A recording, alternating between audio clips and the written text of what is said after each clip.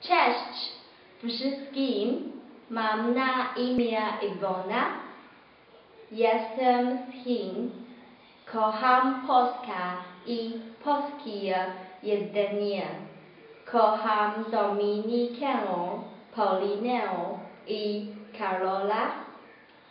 Pozdrawiam Chinę. Dziękuję.